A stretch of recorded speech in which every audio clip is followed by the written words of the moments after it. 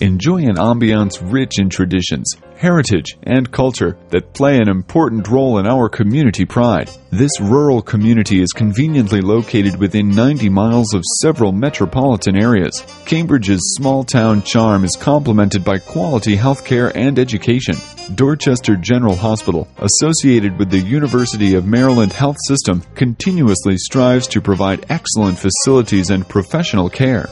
Three colleges within the Cambridge area offer higher education to undergraduates of all ages, including the University of Maryland Environmental Laboratories at Horn Point, Sojourner Douglass and Chesapeake College. Life on the eastern shore is casual and unhurried. The Choptank River and its tributaries provide both recreational and employment opportunities.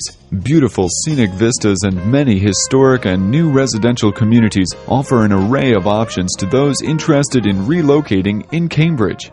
Browse art galleries featuring a variety of mediums, boutiques, our historic district, and various waterfront open spaces destined for public use.